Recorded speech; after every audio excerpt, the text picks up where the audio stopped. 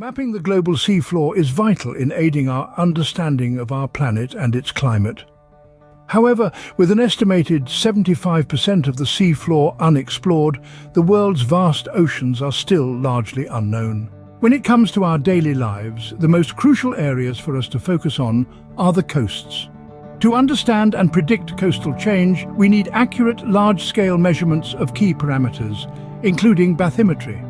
Unfortunately, nearly 50% of the world's coastal waters remain unsurveyed.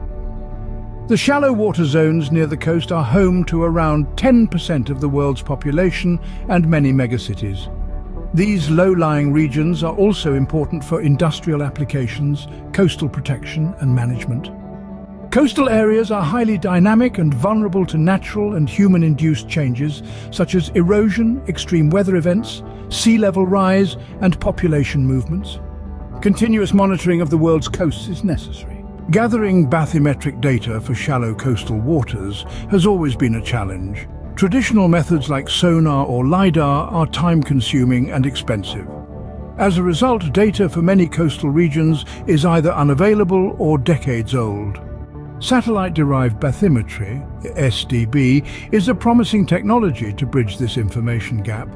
It uses multispectral optical data to estimate the depth of near-shore waters. Space data has been used to map the ocean floor for several decades, but the resolution of these methods is not enough for shallow waters. SDB uses optical image data and an algorithm called multispectral signal attenuation to estimate water depth. By analyzing the color profile and spectral characteristics of coastal areas with known depths, algorithms can infer water depth from new spectral information. This approach can estimate water depth down to 30 meters with a high level of accuracy. The resolution and number of spectral bands used in the data determine the accuracy of the results. Even lower resolution data can provide valuable information. Today, data for SDB is measured from various satellite sources such as Landsat 8, Sentinel-2 and Pleiades.